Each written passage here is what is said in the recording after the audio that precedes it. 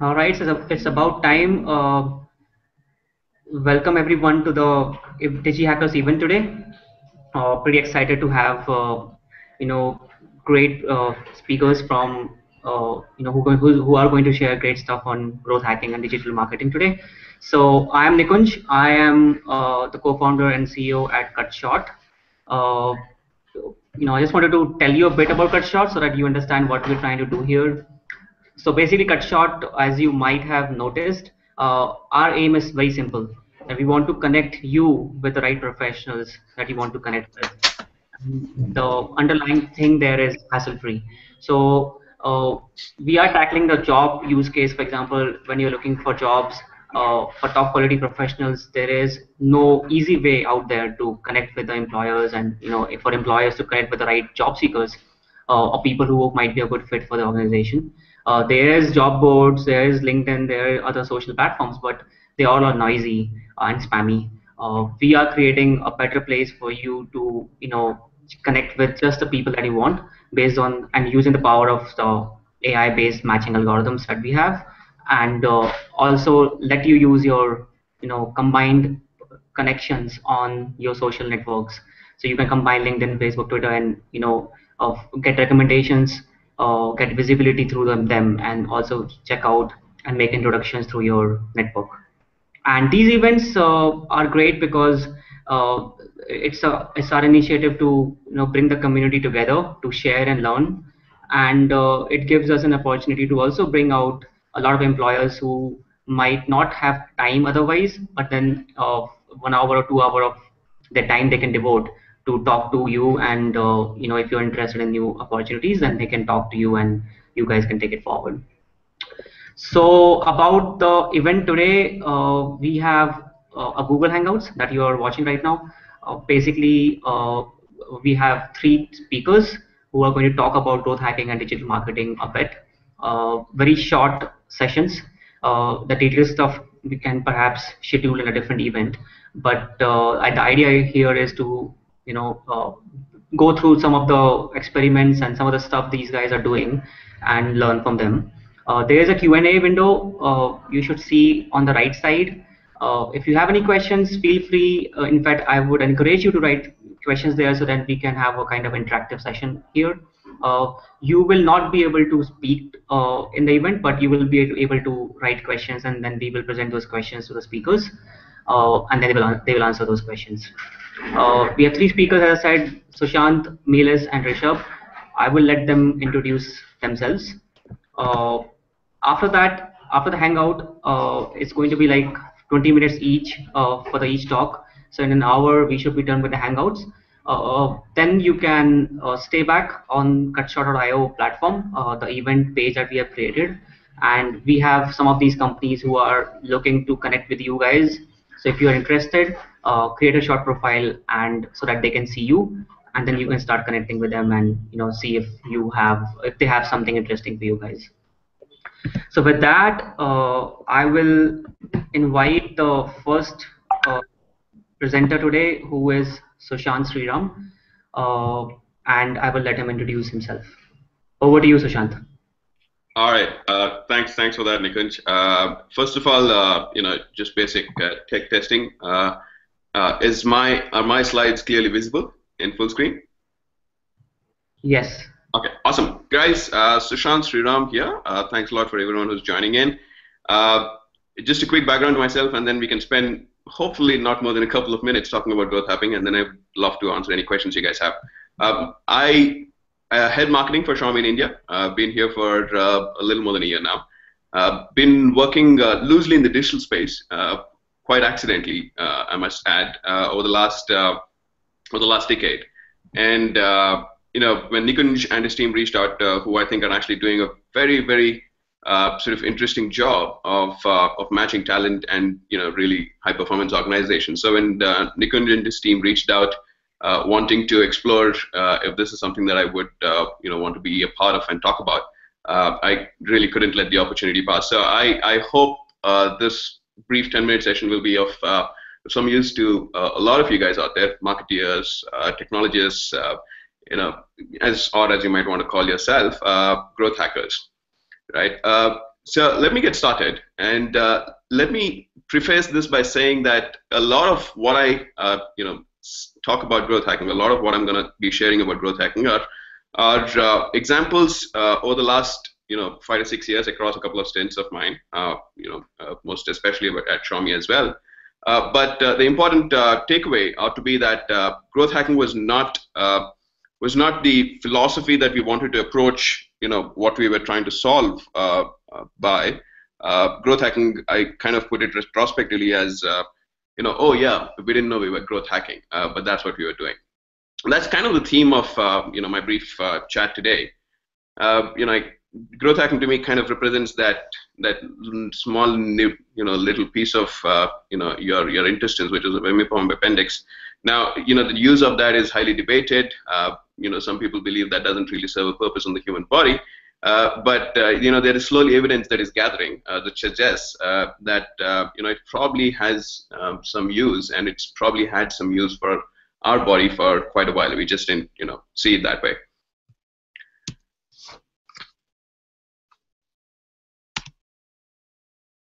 Uh, I want to start off by quickly touching upon a concept that I was exposed to uh, a little recently, uh, but this is a, slightly dated concept, a couple of years old, which is called normcore. Uh, now, I don't know how many of you guys who are sort of streaming and watching this uh, were aware of this term, but normcore was essentially a fashion trend that exploded in early 2014. Uh, and uh, you know people went nuts over it, right? Uh, this is just a interest, you know, sort of plot of how popular it got. Now, you know, this might not really say a lot because it's, you know, because it's uh, not related to any other sort of index. if you look at, you know, just a little comparison between you know how popular normcore as a fashion trend got and uh, another fashion trend uh, which was uh, incidentally voted the number one fashion trend of you know pretty much the last 50 years which was the little black dress uh, you know which is a, a, popular staple in a lot of wardrobes especially um, uh, you know amongst women uh, across the world and normcore actually for a brief while was actually more popular than the most popular fashion trend of the last 50 60 70 years which begs the question, what was normcore as a fashion trend?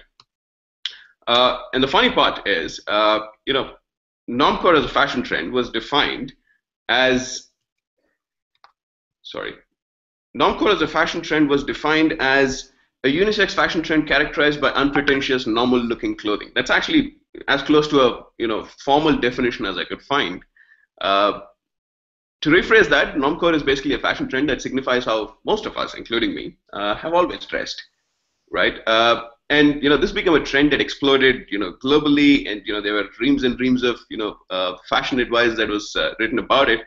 But uh, the fact of the matter is, normcore has actually been always around. It's just how all of us dressed. Uh, and you know, it kind of kind of got labeled as normcore, and you know, it took on its own shape. Obviously, it, it uh, didn't survive for too long as a fashion trend because you know we've been doing that uh, for for as long as we've existed, and we uh, will continue to.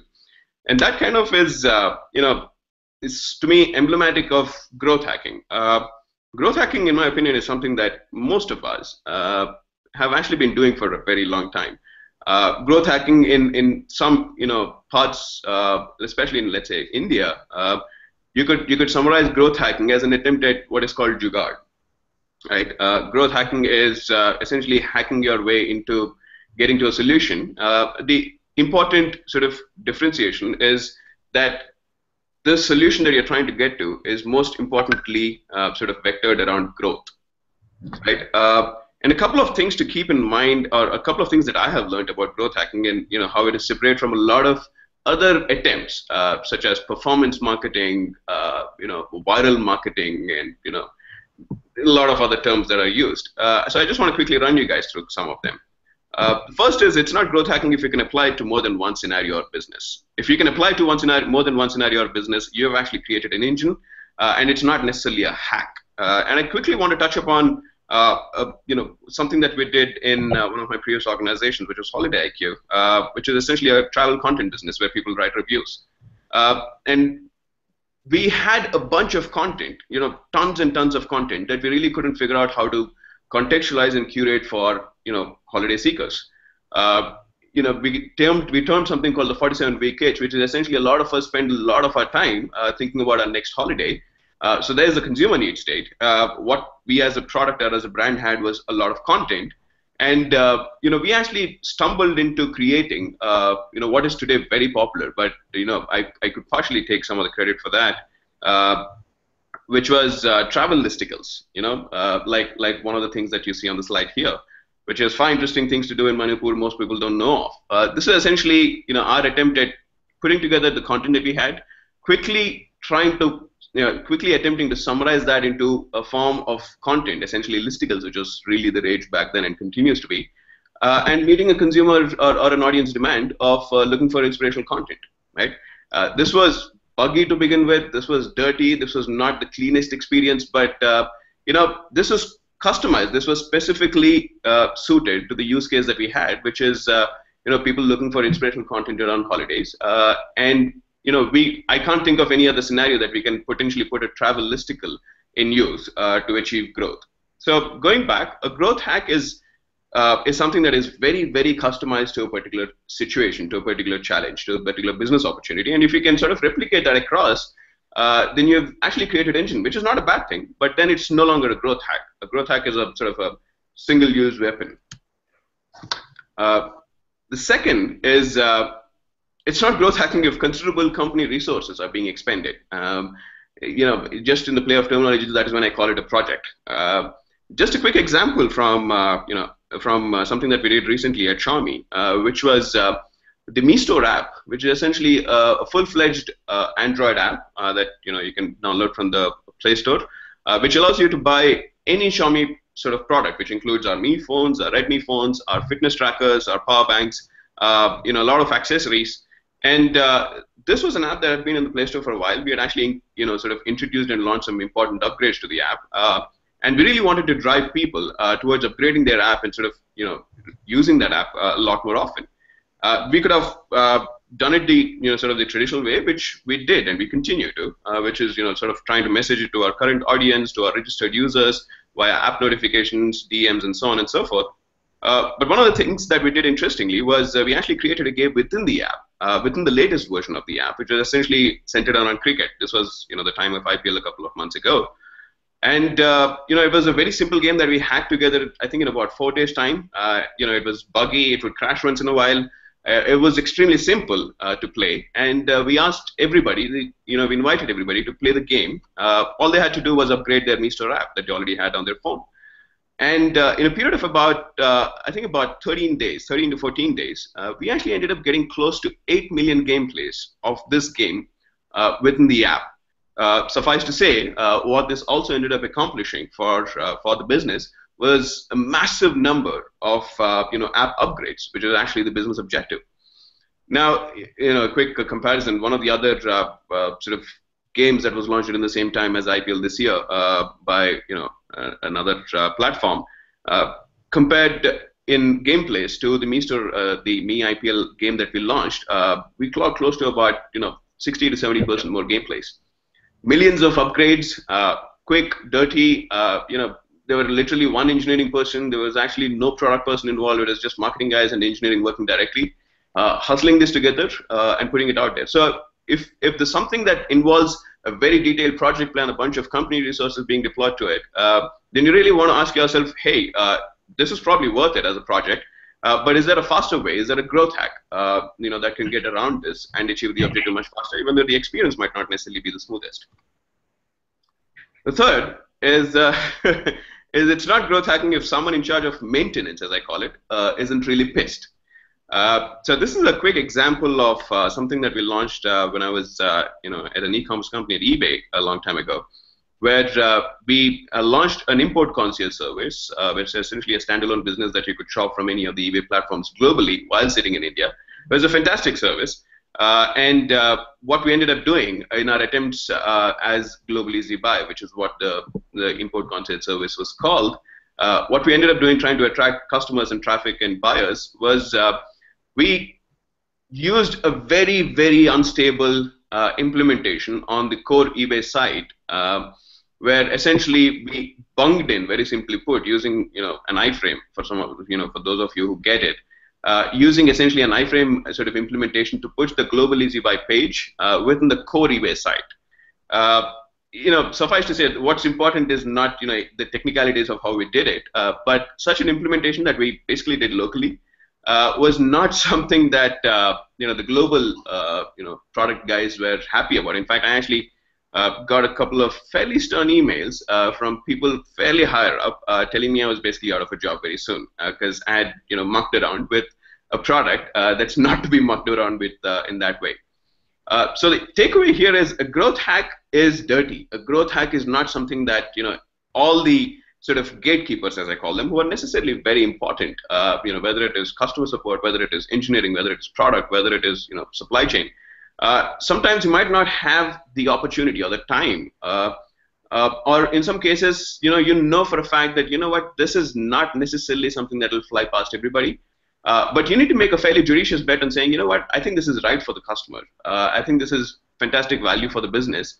And to the extent that you have some level of sanity in saying, you know what, I'm not going to break the bank or I'm not going to break the product, uh, just go ahead and do it, right? Uh, and you know, do it first, and then you can apologize, saying, you know what, I'm really sorry, which is what I ended up doing for a long time after after that little experiment.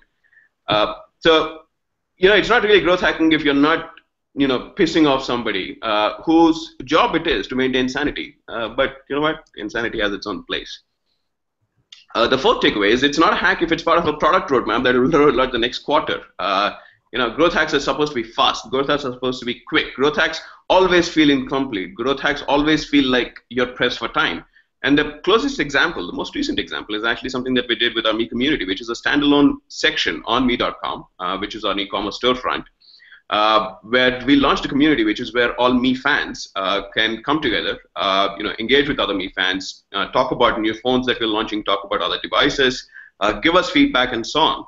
And uh, this has been a this had been a project that I've been in the works for a while, you know, technically to develop.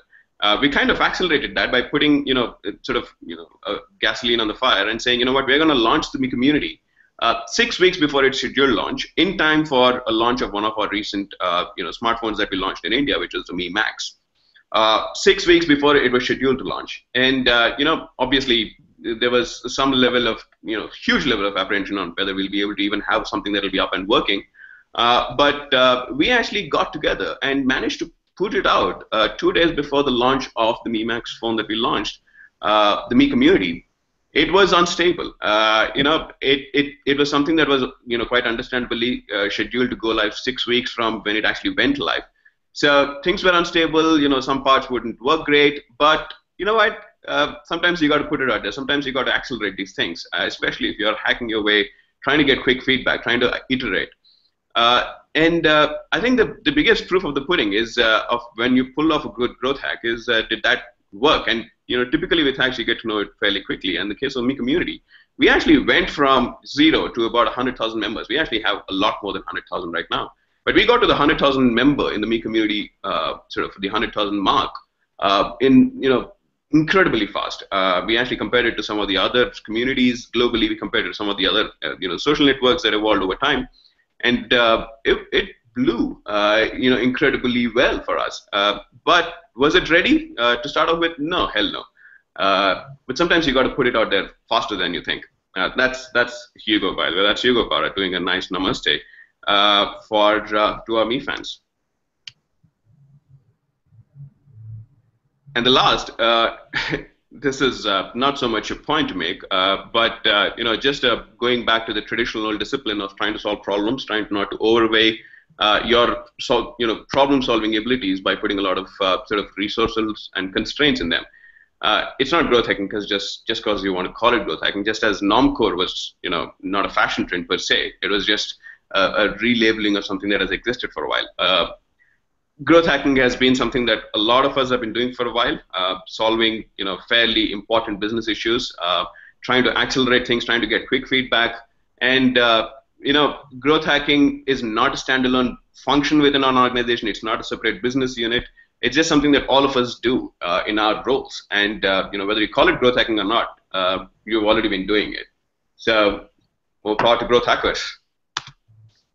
That's about it, guys. That's about all I had. Uh, I'd be happy to answer any questions that you have. Yep. Yep. So we'll take a few questions. Uh, I think one question that I have as you said, a lot of things about what is not growth hacking, uh, and they should not be repeatable. They should be quick. Uh, the question is, uh, should growth hacks also be, you know, short term necessarily? Uh, can a growth term, growth hack be run for long for long duration to keep the to keep growing? So, so here's the important point, right? Uh, you know, it's a very, very good question, actually. Uh, and let me answer it this way: a growth hack is actually not uh, is not a description of the means of getting to a destination. It's actually uh, the the most sort of dirtiest but quickest way to get to a destination. And let me give you a couple of examples. Uh, you know, going back to you know uh, my experience with growth, growth hacking at uh, at eBay, which is when we sort of did a very very unstable, something that could have sort of brought the entire sort of platform down kind of implementation at eBay. Uh, the growth hack was actually meant to immediately sort of get a feedback on how well this is going to work. Uh, and you know, we got a, I mean, I personally got a ton of, you know, I mean, there was a shitstorm, uh, to be honest, on, you know, the, main, the manner in which we had implemented it. Uh, but uh, did the growth hack survive when it's uh, in that form that we launched it very long? Uh, no, absolutely not. The point of growth hack is, you know, you test it. you, you prepare a solution, put it out in the market. If it works, then you're, then you're actually then it makes a lot more sense to expend company organizational resources uh, to build something that's a lot more scalable, uh, a lot more stable. Uh, but you know, you don't want to necessarily start doing that from day one. So to answer your question, uh, you know, growth hacks are by definition uh, meant to be very quick, uh, sort of sometimes dirty solutions that end up paving the way for much more stable solutions. Okay. Okay. And one question is how do you define growth? Is it just expansion, user acquisition, or increasing net revenue? Okay. Uh, actually, there was an interesting uh, sort of uh, you know point that I uh, that I chose to uh, sort of let off uh, this slides. Growth hacking, and specifically growth, gr- it's not growth hacking if you're trying to optimize for an intermediate metric. Okay, and let me give an example. If you're running, let's say, an, an an app uh, which which offers a very unique value proposition as a you know as a service to users, or if you're running an e-commerce platform. Uh, growth hack is in the case of let's say an e-commerce platform. A growth hack is not something that you're attempting to sort of deploy to try and improve, uh, let's say your CTRs on your banners, uh, or you know, or, or your visits to your you know, let's say your unique product page. Uh, growth hack is actually very strongly related to saying what is the ultimate outcome that I want to achieve. And you know, to your question on whether it is users, whether it is revenue, uh, it, there are actually a bunch of factors. So I think it would be unfair for me to answer that question for everybody. Uh, for high growth companies, uh, where you're really putting a product out there in early prototype stage, a growth hack is actually something that gets you distribution of your product or service.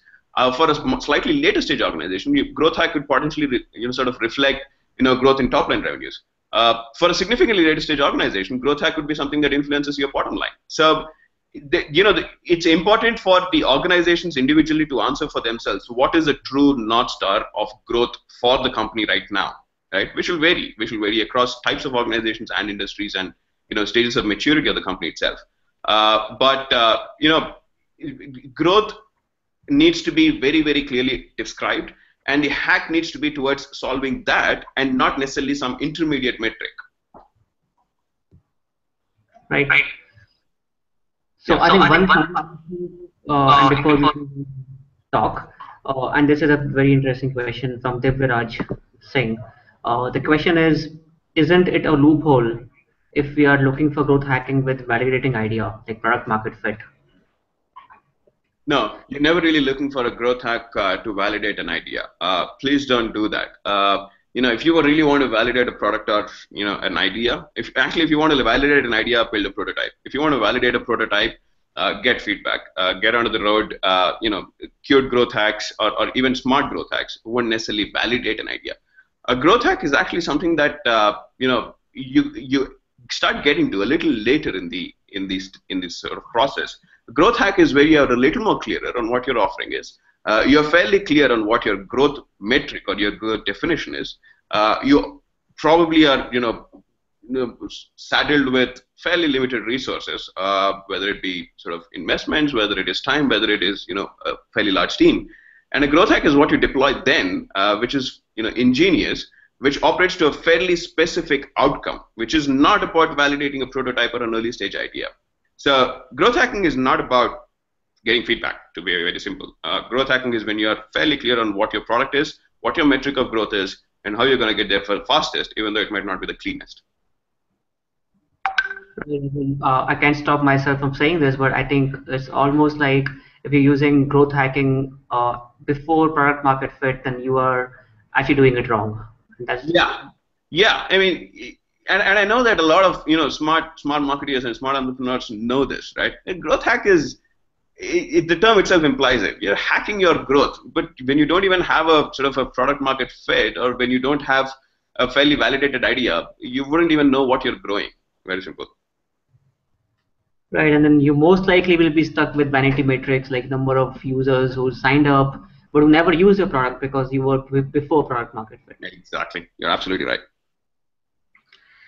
All right, so uh, great talk, Sushant. Uh, I will uh, have, if, if there are more questions for you, we'll uh, you know forward those to you.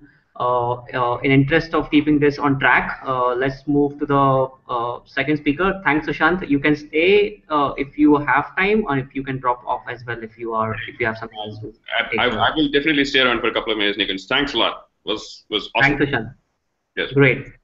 All right, so the next one is Miles. Uh, hey, can you hear me? Yes. Uh, I'm trying to share my screen. Is it visible now? Not yet.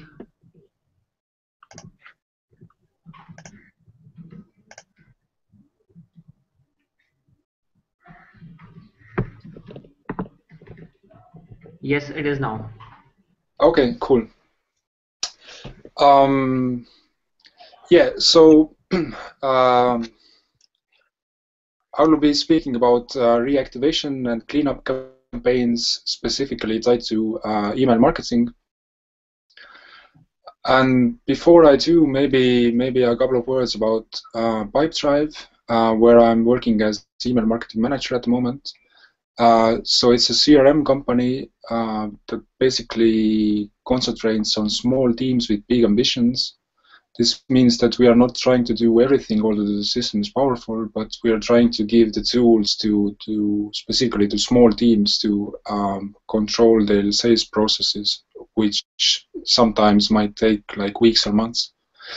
So the company was founded in 2010, and currently we have over uh, 30,000 paying customers, and with offices in Tallinn and New York. I'm currently uh, in Tallinn, which, which, which where the headquarters are based on.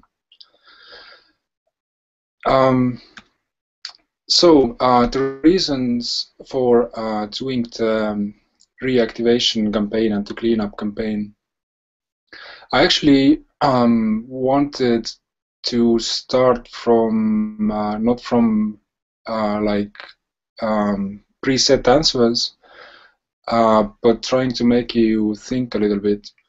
Um, so this is um, this is a graph um, um, about our leads newsletter. This means like all the people who have signed up to to Pipedrive but didn't uh, for some some reason uh, stick around.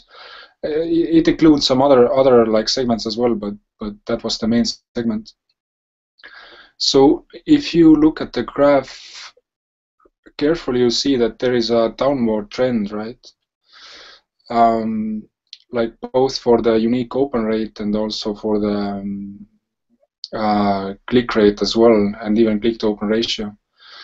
So, like, if you think about it, it's kind of weird because this covers like a whole year, and we've been growing like really fast, like over the past years, and it actually sh should be kind of uh, vice versa in the sense that the, the list has surely like more than doubled but as you see here, the, the, the rates actually go down.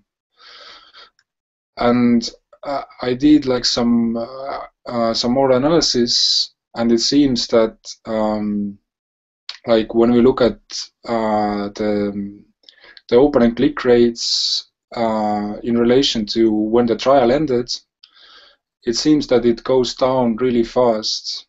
I mean, um, up to a month after the trial end, the, the click rate is three percent, but after two months, it's it's it's um, it's not even fifty percent of, of of that anymore, and it goes downwards uh, for the open rate as well, but but not that fast. So this kind of explains the first graph really really well in, in the sense that people just uh, become uh, disinterested. You know, they might change their jobs or they found another piece of software or whatever the reasons might be. the the the general click and open rates go down as the time passes. Uh, and the problem with that is that if you're trying to um, kind of justify uh, what you're doing in email marketing, you kind of, you know, you can't show these stats to anyone in the sense that uh, they won't actually represent what's going on, you know, because the first question would be, well, why is the open rate going down? It's it's not so much it, it's going down, but um, it, it's it's related to the to the fact that just some people become like disinterested. It doesn't have to have to mean that uh, the content you're putting out there uh, is getting worse over the time. In fact, we would have to, we would hope that it, it's the other way around. So, uh, so the reasons why we wanted to do a reactivation campaign were, were the following. First, of course, were the skewed stats. We wanted to see the actual numbers, um, you know, for the active leads, not for the dead leads. Um, and of course, we're wasting like a ton of money on them because if you send out like a weekly newsletter and there are like tens or maybe hundreds of thousand paid leads, then um, there there is a cost involved as well. And they also tend to track down the, the list reputation because uh, what some of the email providers do is that um, they check like um, how much a certain newsletter uh, gets opened or clicked on, and um, and they kind of uh, make they kind of paste base some kind of decision on that, like whether it should be uh, in the prioritized inbox or just inbox or maybe in the promotions folder or, or even worse in the spam folder. so these were the, the three uh, main reasons of course, we also wanted to win back customers. So when we look at the goals, then uh, we wanted to turn the inactive leads into active ones, uh, then improve the, the, deliverability, which means that uh, making sure that um, that our newsletters were visible in the inbox, and of course reduce the costs. So um, the first thing that we we did was actually to, uh, to kind of go online and see whether there is any research uh, out there or any case studies and so on about reactivation cleanup. So uh, I did manage to find like some good tips. Um, uh, for example, um, where it, it, might be also logical if you think about it, but it's it's you kind of have to keep this in mind uh, that you should wait for the response time longer than usual. So this means, um, I mean, for the active leads, they probably open the emails quite fast and they read it, but for the dead leads, uh, you know, it might take some time for them to open them, or you, or you might have to send them uh, more emails than, than you usually do for the active ones to get their attention. Uh, then out of the ordinary subject lines and content. Um, uh, and also, like one thing to keep in mind is that you can't actually test on on dead leads or inactive leads uh, that much because well they're inactive, so you wouldn't get a statistically valid sample. So you would also probably need um, a segment with active leads with whom you could test the message first and then choose the choose the best one. So uh, this is our plan. It's actually uh, what we ended up with. We in the beginning we had a slightly um, different plan, um, but we had to adjust adjust that uh, as we went along, and I will come to the reasons a bit later but as, as you see, um, we actually start with started with uh, some special content. Then uh, we had some regular newsletters as well, and then again we had special content and special offers uh, for the inactive leads. And later, um, um, when we saw that they are still not opening or clicking on the emails, we kind of sent them a reconfirmation message uh, and then remove them altogether if, if they were uh, if they weren't reacting at all. Actually, the, the condition was that they haven't opened uh, any emails in the last six months, so we just unsubscribed them.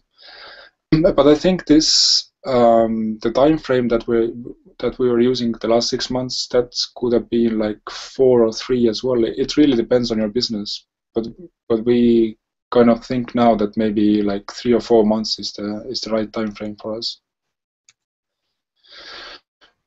Uh, if the schema looks a bit complicated, then uh, there is of course another way of putting it. Uh, what we did was we had like three special blog posts specifically meant for uh, reactivation. Um, then at the same time, uh, um, we had some new feature launches coming up, and we also wanted to give them a special offer um, like a really special one that they that they can't refuse. Um, and of course, the, the ones that we were going to remove in the end, uh, you know, the ones we didn't open at all in the last six months, uh, we did unsubscribe them, but we we kept them for retargeting.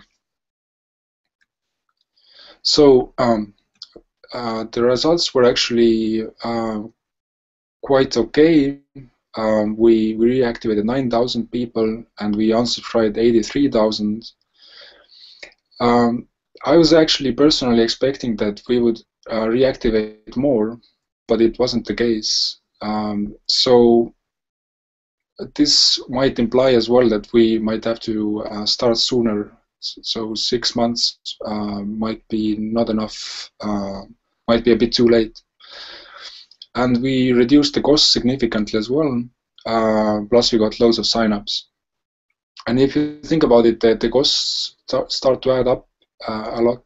Um, because like with with each newsletter you save a little and then when you run the cleanup ca campaign again it kind of doubles and so on and so on. So in the end it, it pays off really well. So um, some words about the lessons. Um, uh, one of the things that we learned the hard way was that we should keep the, the segments simple. We we kind of wanted to um, um, like use different segments based on various um, uh, let's say levels of inactivation and so on. But but this wasn't really necessary, and in the end, it complicated things a bit too much. Um, and oh, yeah, another thing is that um, the, the, content should be uh, there probably before you start. We kind of produced the content as we went along, and we have a big content team, but it still wasn't enough time. So uh, in one case, we just had to postpone the send because we, we just couldn't get the content. Um, and also, if you're planning to, to do the reactivation around product launches, then that might backfire as well, in the sense that you know, product launches quite often get delayed for various reasons. Um, so yeah, um, the general rule, I guess, is to, to keep things simple. Don't like overplan stuff. So you might be able to do some social and, and paid retargeting as well at the same time to, to reactivate them. And now for the bonus tips. Um, so yeah, um, the, the, the, the, emails that we unsubscribed, we are using them for retargeting. Um, and also we, we are now reusing the content that we produced for inactives so that, that the process would be like semi-automated, but also we can use that in, in our onboarding processes and so on. Um, and one of the, the, the things that you could you should definitely do is to resend to those who have not opened. This doesn't uh, apply only to, to reactivation campaigns, but also to, to your newsletters probably. Uh, and if you can, uh, try to automate the cleanup because it, it might take um, a lot of time to, to actually do it and to come up with a proper plan. So the best the best thing would be to automate it. And actually, um, if any of you has, has done automation for the cleanup, uh, it would be really interesting in, in hearing uh, about your experiences and what kind of software you used and so on. Um, so that's it for me. Thanks, and I'll be looking forward to the questions. Thanks, Meelis. Uh, that was uh, insightful. Uh, one question I had, and this is like the basic uh, uh, fundamental reason why you did the the cleanup cleanup thing of your email list. So you said you did email list cleanup because uh, to save the reputation of that email list. So why is that needed? Why we need to keep the reputation of the list up? Forget about the cost. I mean, cost. I think uh, cost is one factor, but then people have automated email sending, so they know if, if we can send emails like 70,000 people, we can as well send it to one lakh fifty thousand people as well. But apart from that, what what's about the list, uh, the reputation of the list? Yeah, I mean, if the if the people who receive your emails don't open them, then this is a signal for uh, Gmail and Outlook and others that um, people are not that interested in your emails. So you know they might want to deprioritize your emails. They they might move them out of the inbox. So oh. so that's one of the reasons. Oh okay. Okay, I thought. Uh, okay, I did not know that. Okay, great. Uh, one question from Guru is uh, how do you time your emails? Uh, you mean reactivation emails or? Yeah, in general, how do you decide when to send what emails and how, I think the duration between two emails and stuff like that? Yeah, um, like if you are talking about campaigns, then um, then basically we are sending the, the well we test we test the, the day of week and we also test uh, the, the exact times. Um, we have we have done tests for the time zone based sending as well, but that didn't actually make any big difference for us. So so yeah, we are just using the, the time of day and the day of week for, for sending the, the emails out. And when it comes to automated emails, then I think um, well for us these are these are always associated um, with an event you know if so, something happens in a software or some you know like some kind of event so that makes the emails relevant. So this doesn't depend on the time of day or day of week that much. It's it's more related uh, to being relevant at, at a point for the customer you know when where something happens or when he or she needs something.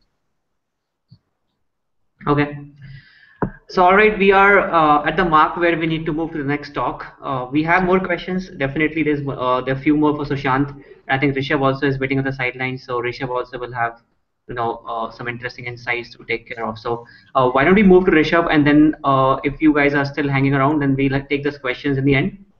Hmm? Cool. Thank all you. Right. Yes. Rishabh, can you hear me? Hey, Nikunj, I can hear you. Am I clear? Am I audible? Yes, you are. So uh, uh, I, I, I understand that there are some time restrictions that you have here today. So uh, uh you are free to pace yourself the way you want, and then uh, give us like five minutes to wrap up uh, before you are ready to go. Sure, Nikunj. I think I just quickly want to share something with you before I start with the presentation. So um, I've been looking at the comments and the Q and A's in between, uh, and I've been seeing a lot of people asking questions about how do I get a job in digital marketing, and you know how's how's uh, the India, you know, marketing is booming in India right now, and social media and so on. How do I get into this? So first thing, you know, I would like to say is I would like to congratulate these people, and you know, congratulations all of you guys who are saying I want, you know, I'm looking for a job here, because if you were saying the same thing on Naukri, I wouldn't have been seeing that email, right? I wouldn't have been um, hanging around in careers at mapplinks.com, which is the company I run. Probably one of the recruiters from my team would have been looking at that. But you've got my attention right now, and I'm looking at your comments. And one of my guys, one of my marketing managers, is also looking at people in the dashboard of CutShort. If um, you know any any of you guys are applying there. So this is uh, the reason I wanted to share this is because you know what you guys are essentially doing is using an unconventional platform right now to get into the the awareness top of the funnel stage of a recruiter, right? And that's exactly what we're trying to talk about here. So we're talking about how do we use unconventional channels. In fact, Nikunj, there's um, I, uh, there's an interesting thing which happened today, and I got a Snapchat, uh, 10 second Snapchat of you know I posted the Snapchat that I'm doing this talk tomorrow, and I got a reply saying that you know we've been seeing your old talks, and uh, one of the girls she said that you know I would like to live tweet your talk tomorrow. And I said, you know, awesome. I reply on my Snapchat messages and I, I, I sent a 10 minute video back and I said, you know, let's do this. Uh, why don't you join? I think she's here now. Uh, why don't you join the webinar and uh, do the live tweet? So I think these are ways that you also, I mean, I'm going to talk about how to grow, um, grow or, you know, market your startup or business, but also for the job seekers out there, I think it's a very important thing to understand how to use these platforms, these new channels which are coming up, CutShort being one of them, and get attention uh, of uh, recruiters and people who are hiring there, rather than going through the. I mean, I, honestly, we don't use Naukri because we hate the UI UX there. I'm um, I'm sorry, one of you guys are ex Info Edge, but uh, yeah, those are those are one of the reasons we don't go there. Um, I would be happy if you would write a post on Medium as to why um, Mapplinks should hire me, or if you run a Facebook ad targeted to all the people who work at Mapplinks, who have interest in digital marketing, and who are managers and directors and people who hire basically HR managers and say, you know, this is my profile. Run an ad on your resume, right? You know, so those are the things that I would like to see. I would like to see Snapchat videos of people asking um, to get a job from us. I think those uh, those things are where my attention is. You know, I'm not going to read an email uh, which says this is my CV, this is my biodata, and this is my resume. I think uh, someone very um, uh, early in the hierarchy is going to see that. So I think I just wanted to start with that because I think I know a lot of people from here are job seekers, and uh, I think this applies to you as well. Now, what I'm going to talk about um, is going to be about the business and the startup side. Uh, yeah, Deepan, so I just wanted to share that before I start the presentation. Okay, sounds good. Great. Um, so just confirm if you guys can see my screen. Just give me a second.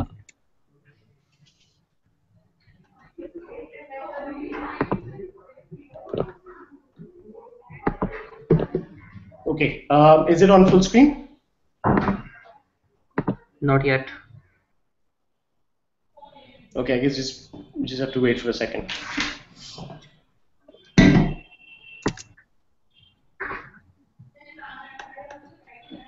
Yeah, can you see it now? Yes. Sure. All right. Uh, so I think we'll just have a quick session, and um, I'm going to take you through these points, which is about me. I'm going to make it very quick. You can check out my LinkedIn profile for um, you know anything else you would like to know. Then the businesses that I currently run. Common examples of achieving growth using unconventional channels. I'm going to focus there. I'm not going to focus on all the channels that people use, but only channels that are unconventional or slash emerging, right? And then own examples of campaigns we've done for clients. We're basically a digital marketing agency, right? So campaigns we've done for clients using unconventional channels, then the effectiveness of channels, how it works, the differences between cost per acquisition specifically applied to startups, and then a framework, uh, which is what we're working internally, a framework for achieving growth. And then there's the triple peak effect of channels, which I'm going to talk about, and then a few emerging channels that you guys can sort of, these are the action areas, right? The emerging channels are the action points for you guys to go back, reflect on, and apply to. Okay, so let's just begin has this nice quote. Uh, I think it was amazing that uh, this is the topic that I got because this is you know exactly what we are doing here. Um, and when I was starting a digital agency, it was like you know everyone has a digital agency now, and there's so many agencies. So what do we really do? Now, obviously, you know, digital agency market is very boring compared to the startup uh, ecosystem, and uh, we wanted to bridge that gap um, and have a new uh, modern marketer uh, set of people doing driving growth to business using these emerging channels. So that's exactly what we do with, with the businesses that I run. So Mapplinks is the digital agency. Mapplinks Academy is where we teach people digital marketing, social media marketing, and all the different modules of digital.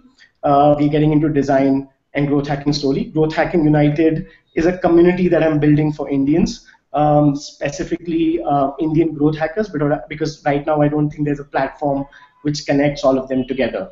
So, okay, so you guys can see the notifications of the live tweet right now. Um, anyways, I'm not going to switch that off. I think it's fine. So we're going to start with this. We're going to start with the common examples and then move on to some of the specific examples that we did. And um, I just want you guys to pay attention to this and try to figure out what are the similarities between all these examples. So let, let's start with the classic Airbnb example. Um, Airbnb, as you guys know, um, was came up recently after Craigslist. Craigslist has been there around for a long time, and it's basically like, uh, for those who don't know, um, uh, the Indians here, it's something like the Quikr and OLX of the US, where you have um, postings and classifieds and so on. So Airbnb figured out by in, by sort of interviewing their early adopters and early customers that all the people who are coming to Airbnb have also posted their um, you know whatever they're selling or the rooms and houses in Craigslist, and uh, they wanted to drive traffic from Craigslist because Craigslist was an unconventional channel for them where they had their target audience, right? Those are things you need to keep in mind. And they went ahead and gave an option for people to just click and post on Craigslist with a single button. So what this does is basically if you're posting something on Airbnb, you click on the button, it goes to Craigslist with a link of Airbnb. So everything, everyone else who sort of sees that posting is redirected back to Airbnb. So essentially, I'm driving a lot of traffic back to Airbnb off of the people who are on Craigslist. The other thing also that they did was send mass mailers, get the data and email IDs from Craigslist, and send them mailers of uh, you know, if you've posted this on Craigslist, you can post it on Airbnb and increase your earnings by 40%, right? So these two, um, you know, unconventional ways in which they used the channel or the network that Craigslist had increased the listings and got the initial push for Airbnb, right? That's one example. Let's go to PayPal.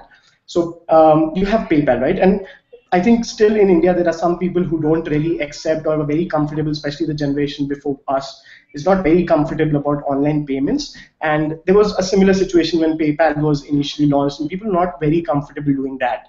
So they went ahead and uh, went on eBay and targeted all the power sellers. Now these power sellers are people who sell a lot, basically. You know that's all you need to know. And they targeted these people and they bought all these products from power sellers and asked them to accept payments in PayPal, right? So PayPal guys went ahead, bought these products, asked them to accept payments in PayPal. Ultimately, all the bar sellers were like, you know, everyone is asking for payments in PayPal, so let me just start accepting PayPal. And you know, everyone else, all the other sellers, are like, you know, we want to be a power seller, so they'll follow everything that a power seller does. So it's a combination of influence marketing and unconventional channels and growth hacking and all of that put together. And ultimately, on eBay, you could see the PayPal logo everywhere. And eBay, I think, was a very unconventional channel for PayPal to market to, right? So they, what they achieved from using eBay as an unconventional channel was the influence of power sellers, ultimately driving a lot of people, a lot of sellers to create PayPal accounts, right? Um, let's let's talk about Spotify. So this is a small screenshot from the old Facebook, if you guys remember it. If you listen to any song on Spotify, it would just go on Facebook with, you know, with a link to the song. But the funny thing is, you didn't have to go back. You could just click on the song and listen to the song right there on Facebook. Okay, so this is instant gratification. You could listen to the songs there, and then you could click on Spotify, add the app to your Facebook so essentially creating an account on Spotify. So I think the network that they're using here is Facebook. They're using it differently. They're using it creatively, and they have open sharing songs, and they achieved a lot of user base through this. Right. So so let's talk about now. Let's talk about some of the examples that we did at Mapplinks um, to sort of understand how these conventional channels work and how we could get business on a B2B perspective as well.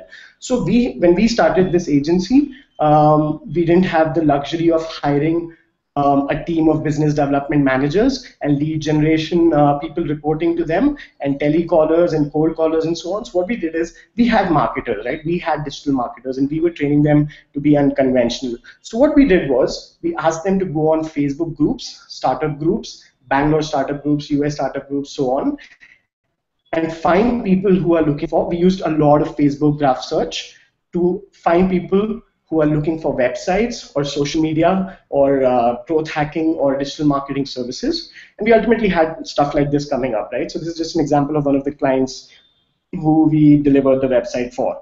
And uh, it's a very old example though, but if you if you look at what the post is, basically looking for someone to do the website, we leave a comment, we message the person on Facebook, right? These are ways that you actually hit the right person at the right time. So we we got all our initial customers from Facebook groups. That was the only sales or lead generation platform that we used. Uh, we did we, we still don't have a business development team. We did, we don't have telecallers till now. You know this is this is how we do our own marketing. Um, I think we practice what we preach in that sense, and this is how we built our initial customers.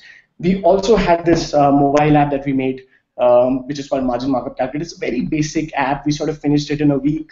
Uh, it lets you calculate margins and markups. Now, a lot of problem if you if you talk to salespeople, they always have this confusion between the margin and markups. So we thought, let's just make it simple. Let's make an app, and uh, we we had like you know okay, we started, we launched the app. We didn't, we have done zero marketing, by the way, on this app till now, and we got 100 downloads, 200 downloads, and we said, you know, why don't we try Product Hunt?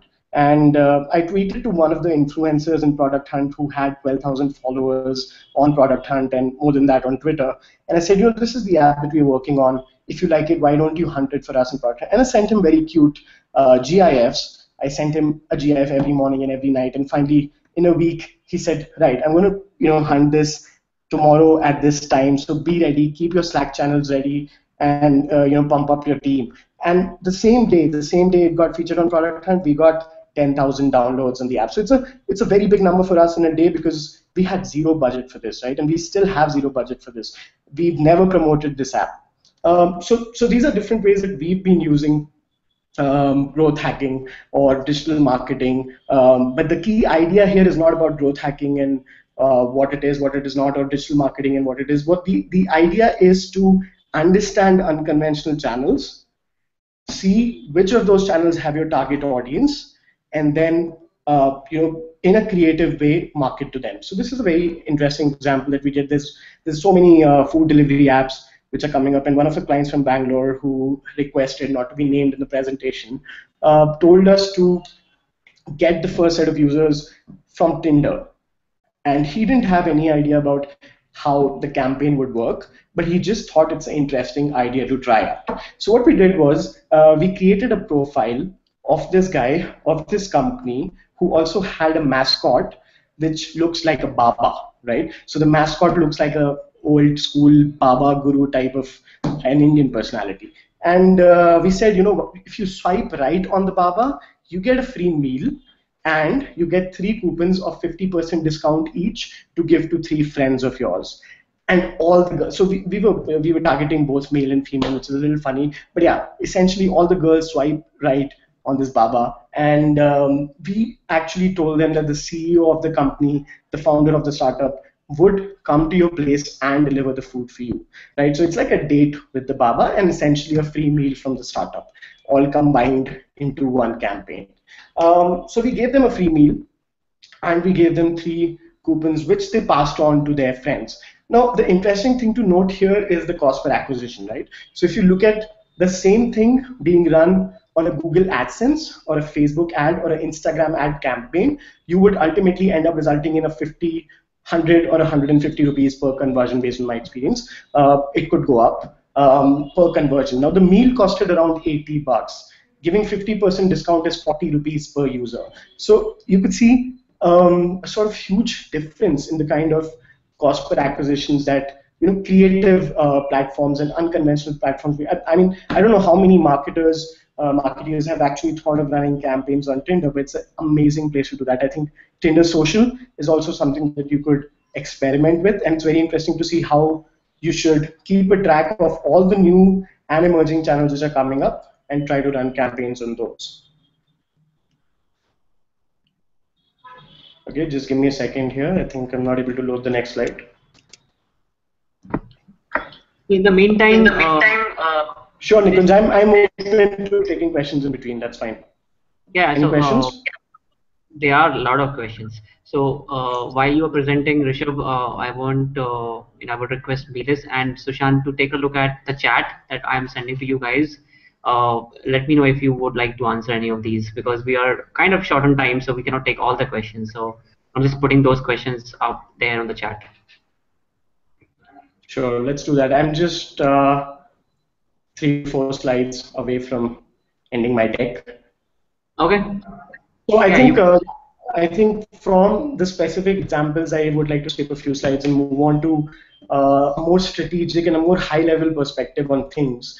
Um, I think any channel. So this this shows the effectiveness of a channel um, on the y-axis and the time on the x-axis, right? So any channel sort of loses its value over time, and it's interesting to see how word of mouth went down and came up again. But I think it's a uh, universal way of marketing things. Uh, but you know, you never know what the next platform would be. So right now, for me, the focus areas are Instagram stories, product hunt, Slack, Apple Watch. These are the focus areas, right? The next big thing could be um, self-driving cars or 3D printing, or how do you market there, right? So as a marketer who's looking for unconventional channels, I think you should always be on the lookout of what's coming next and try to think of a strategy of running a campaign there. Um, there's also a very interesting uh, concept that we've come up with, which is called the triple triple peak effect of social channels. And uh, like I said, the common thing in all these experiments is that we are targeting a channel which has our target audience, which is an emerging or slash unconventional channel, and marketing there. So we are basically getting the first movers advantage. So any social channel has a first movers advantage where it's in the innovators phase and everyone is um, all the early adopters are experimenting with the platform, trying to get a taste of it uh, before the early majority comes in, right? And you have a lot of organic opportunities when the early majority comes in, and then when the late majority comes in, you have a lot of advertising opportunities, right? This is where all the big guys and big companies can put in cash and uh, get visibility and acquisition or conversions or whatever they're looking for. As a startup or as a smaller company, we like to be the uh, than the first movers phase. Um, so if you look at, I'll give you some examples, quick examples. Facebook right now is in the late majority advertising opportunities phase. Instagram has moved from early majority organic opportunities to advertising phase. Instagram stories is in the innovators phase right now, so that's where your focus should be. Right? So this is a quick example of how this graph works. Ultimately, I think all of this, with all of this, we can derive sort of a framework uh, for process and a process for growth which is step one, you create your buyer's persona. That's not going to go anywhere. That's not going to be old school anytime soon. You still have to create your buyer personas and understand your target audience. Step two, you find these unconventional channels or emerging net networks where you have your target audience slash your buyer persona present. And step three, you implement these creative experiments on the selected channel to ultimately drive users or whatever. Right? You can drive referrals and users and uh, retention or whatever part of the funnel you're targeting and do that there right? So just, just a few channels that you might want to try out right now. Snapchat Memories, we've been conducting some campaigns there, and it uh, it really works like a charm, especially for events like this, for example. We could do this on a Snapchat Memory story as well, because all of us are sitting in different locations. We could save the uh, 10 second videos, make a memory out of it. Tinder Social, let's say I'm a restaurant, I have a I have a guy, I have a girl, I create a group with them. Anyone else who joins the group has to basically go on the date with these people in my restaurant, right? Just giving you an example. Uh, Instagram stories, almost like Snapchat, released on 2nd August, a lot of potential for innovators there. Okay, that's all I have for the presentation. Um, Nikunj, you want to take up questions now?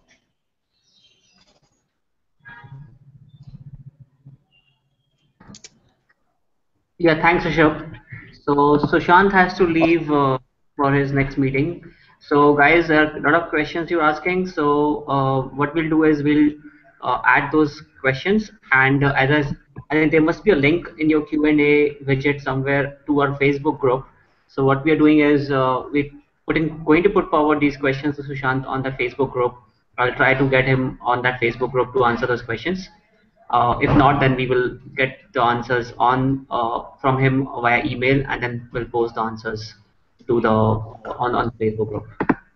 So uh, can we uh, can someone from the team post the Facebook group link again so people can join that? All right. So with that, uh, there are questions. Uh, let me just look at the questions for Meelis first. So Meelis, one question. Are you there, Meelis? Uh, yeah. So one question is, uh, what automation software or tool you are using in your email marketing task? Um, we are actually using uh, three different tools, um, and uh, well, there is an obvious reasons for for that because like, never mind which tool you're going to use, it will always suck in some way. So we got three tools for basically three different tasks. Um, uh, for the simplest things like uh, campaigns and reactivation campaigns and, and some very uh, basic like trip campaigns, uh, we use Mailchimp. I think it's a great tool where you when you're just getting started with email marketing.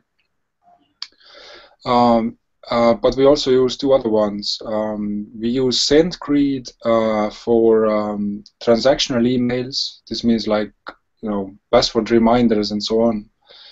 And our uh, main tool is actually Vero. It's V-E-R-O. I think it's getvero.com is the is the address.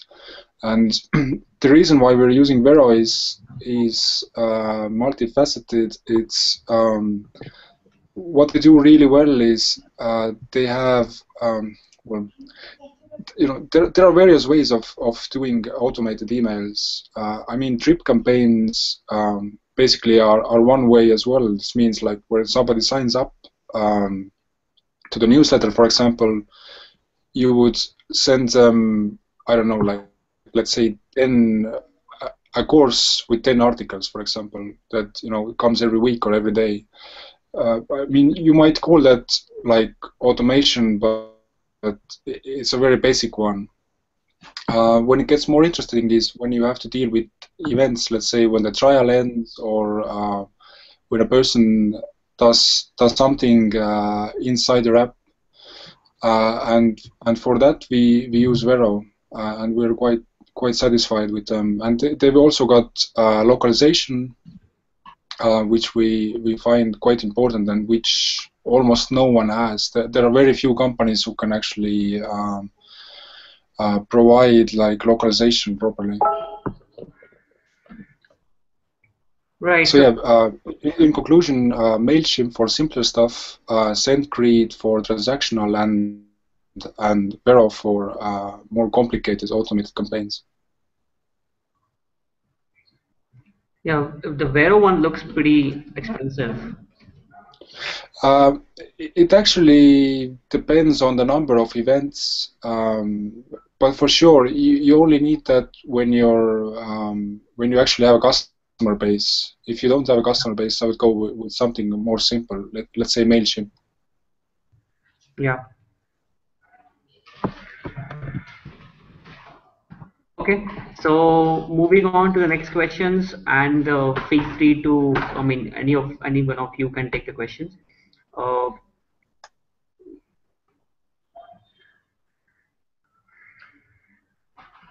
and actually, this is actually can Rishabh perhaps can answer this. Uh, pretty interesting uh, rant or complaint from Anisha. And the question is, I've attended most of almost four of these growth hacking sessions. Everyone tells you what growth hack is and what growth hack is not, but nobody explains how to growth hack. That's awesome. In fact, you know, I totally feel you, Anisha, because the initial growth hacking sessions that I attended to, you know, told me the same thing that this is uh, this is growth hacking and this is not growth hacking. Uh, but let me tell you this, right? Um, you look at the framework now. You, I, I give you these three steps. Whatever I said in the presentation, just take it. You could implement it across channel. What I'm talking about here is you still find your uh, target audience, right? You still do your buyer persona research. I think what you need to do is go into each channel and try it out. I'm sure you haven't tried. So I, I don't know. Like, let me ask you: Have you tried out Instagram Stories? Have you tried out Snapchat Memories? Have you tried out uh, Product Hunt, Slack, and you know all the new features? I think you need to do that first, and then creatively figure out what are the ways that I can get the attention of people or I can get the awareness of people. So think about the top of the funnel first, and we'll get to the rest later, right? Do that. So three-step process, simple. Um, this is not there on Wikipedia, by the way. The first step is you still find your target audience, create a buyer persona document right, with your target audience. Step two, you find all these channels and see where your target audience is. So when I said I'm a restaurant, I can go on Tinder. I'm a restaurant, I can go on Snapchat because my target audience is there, right? If I'm selling Mapplinks, I would probably use Snapchat to show my job culture to show my company culture and get more hires from there. I would not look at it from getting clients, though I might get a few clients from there, but I don't, right? I might look at Facebook groups in that case. So understand what are these new, different, emerging, unconventional channels where my target audience is, and then go down and learn all those channels and implement it on those channels. So three steps, keep this in mind and you'll actually be doing growth hacking on a daily basis. Do this, start this, do a 20-day experiment, change your experiment based on the results. Start doing that. I think that's the key takeaway. If you have to take away one thing from this uh, whole talk i think those are the three steps that you need to take away. I think everything else is very specific and very um, down to implementation but these are the, this is the framework that i can give you off the top right now.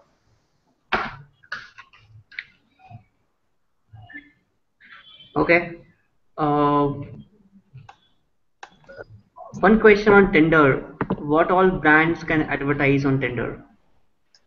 So we don't have a direct, uh, so I'm not sure the name of the person who asked the question, but a very good question. We don't have a direct advertising model. Like you still have Snapchat Discover, Shailendra, right? So you, you have Snapchat Discover, which you can use as a brand. Snapchat is also launching something called in-story ads, uh, when you have different stories and you can see um, uh, ads between your stories. Um, I think your question is more about what are the brands who can run campaigns on Tinder? Because really, what we are doing on Tinder right now is a jugaad, uh, is a is a sort of workaround. It's a stopgap solution because brands are not really there on Tinder, right? We are making up brands on Tinder. So when we talk about what are the industries or what are the segments who can do this, I think lifestyle is amazing. Um, place has amazing potential on Tinder. Uh, food and beverage has really good. I mean, ultimately, what is Tinder? You, me, drinks now, right? So if I'm a restaurant or a bar, I think I would have amazing potential on Tinder. I think music.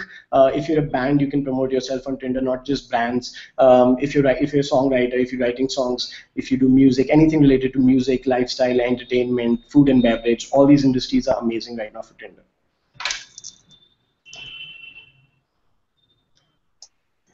Any other questions? Nikunj, do we have more? Yes, uh, we have a lot more. So I think sure, sure. Uh, it's about how much time we want to spend on those. Uh, I think we'll take like next three or four minutes, like four more minutes, sure. and 3:15 local time. We should try to wrap it up. And then right. of the questions we can uh, have on the Facebook group, and then uh, I would love you if you guys can join that and answer those questions. We'll do that. So.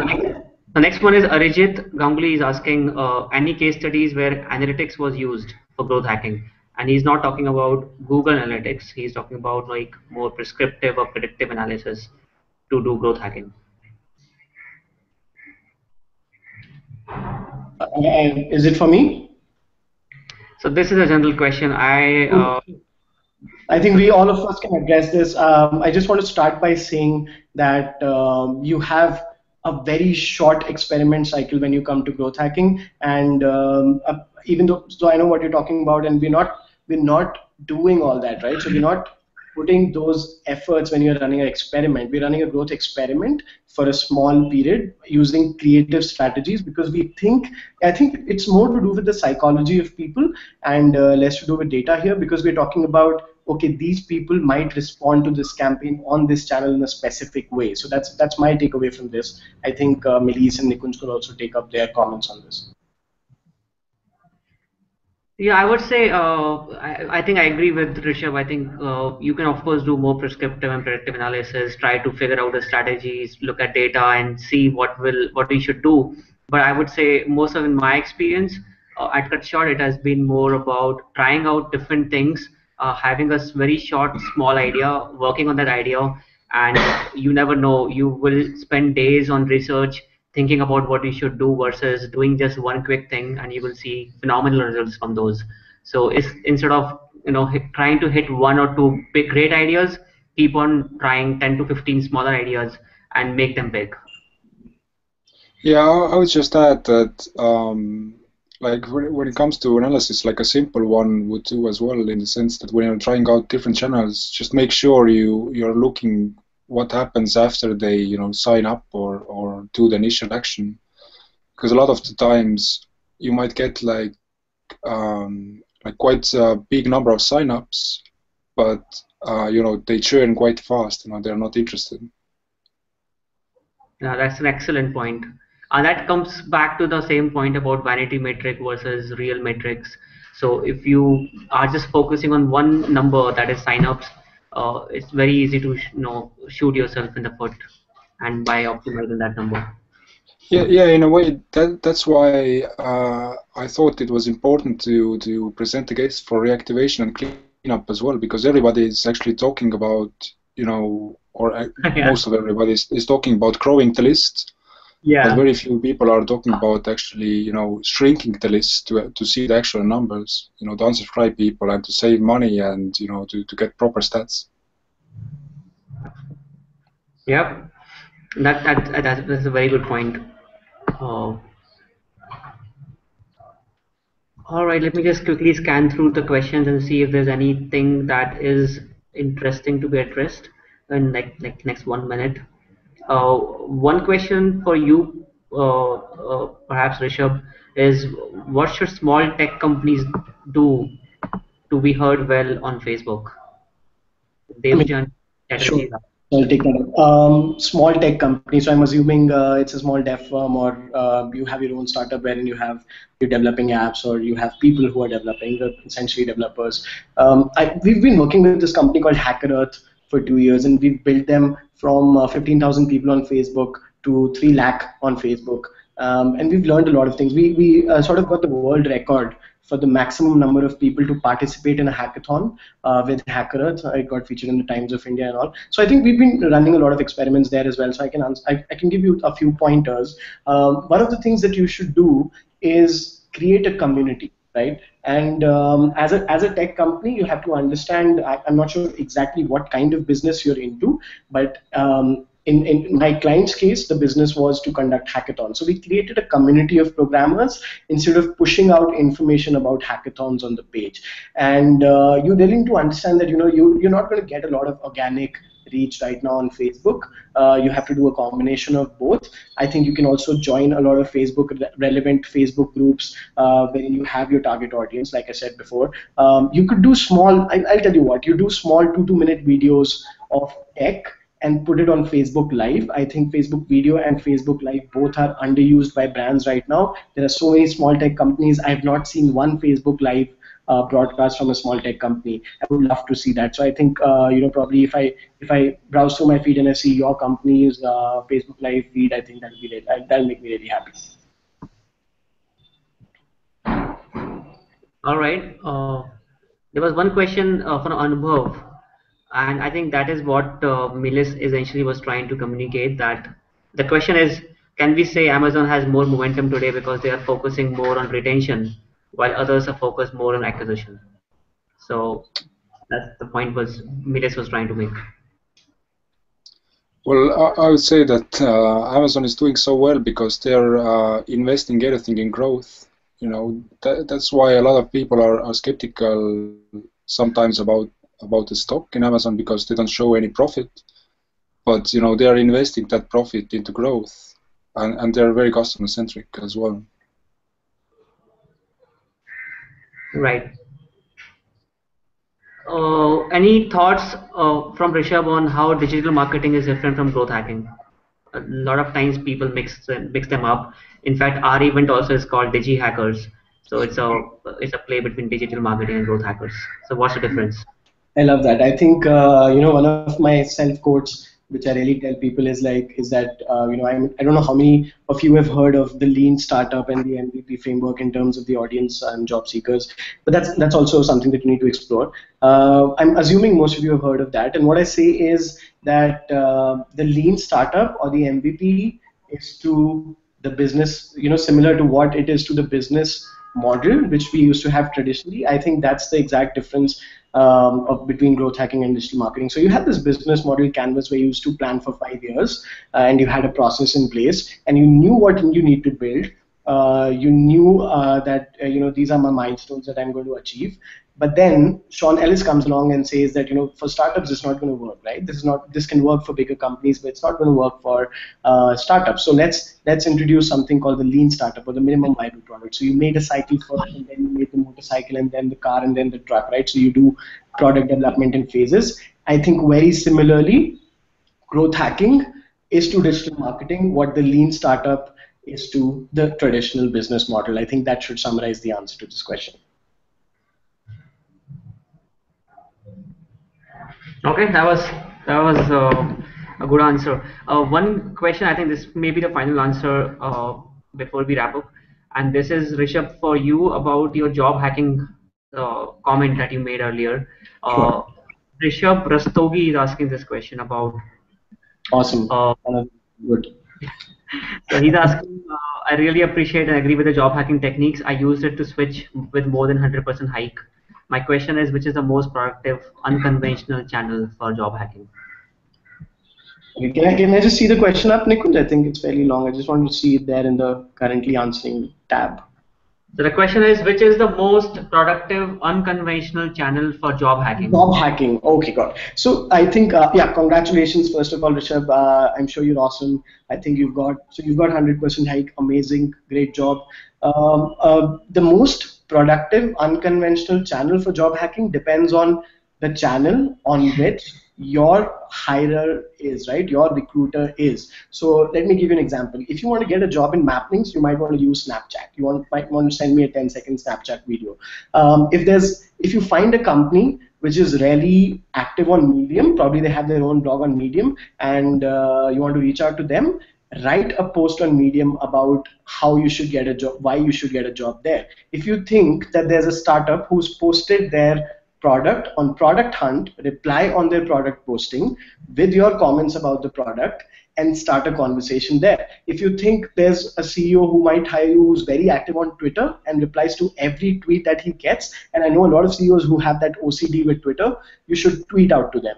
If you think that um, there is a company who has a lot of employees who are on Facebook, run a targeted campaign, send them a mail. In fact, I think put a pixel in your email and retarget them on Facebook and put your resume and boost it. So I think that really depends on, uh, you know, uh, I've given you examples, of course, but again, depends on, like I said, for you, the buyer's persona is the recruiter. So find out what your recruiter does, when she or he wakes up, when she or he go to sleep, which social media networks they are most most uh, active on, and then target them on those channels. I think you can find unconventional channels within conventional channels, right? So you could run a targeted Facebook campaign, even though Facebook is a very conventional channel, but it's not a conventional channel for you because you're looking at job hacking, right?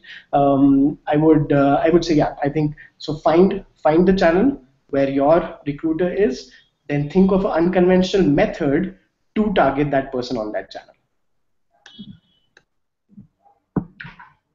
Okay, so that was uh, that is it. I think we are uh, we have more questions, of course. So I think we can take those questions on Facebook group. Uh, there is a question from Abdul about how to find. He's not finding jobs on Cutshort right now. So uh, Abdul, stay put. Uh, employees are coming in and they are adding their jobs. Uh, and you know this is this is just one event. The action on Cutshort will continue to happen. So hopefully you'll have more you know opportunities uh, coming up from from Cutshort. Uh, Rishabh also might add his jobs. Uh, I'm not sure if he's hiring right now, but if he is, he might also want to add his jobs in Cutshort. So to talk to you guys. To do that soon, Nikunj. Yeah. Okay, so thank you guys. Uh, thanks again, Meelis, and uh, for joining us all the way from Estonia. Uh, great to have your perspective uh, on on email marketing as well as on general things on digital marketing growth hacking area. Uh, Rishabh, uh, great energy, uh, great talk. I think you go you gave good tips to people about uh, you know overall how to how to structure their growth hacking efforts as well as how to growth hack their job as well. So so great to see the action here. Uh, of course, this is just one hangout that we did today. We will look into doing more of these more often, and uh, would love to have you know you guys join us back and, and those times. Uh, you can now, uh, I mean, the hangout will end, uh, but the job part will continue on Cutshort. So uh, you might uh, you can contact employers. They can also contact you and then you guys can you know get to know each other better. Uh, with this i think we'll have to stop here. So thanks Meelis. Thanks rishabh. You want to add something? You can add it now or we can bid adieu thanks for having me all right thanks so much. Thanks rishabh. Talk to you Thank you, Yep. thank you guys. Sure. yeah have a good day. Bye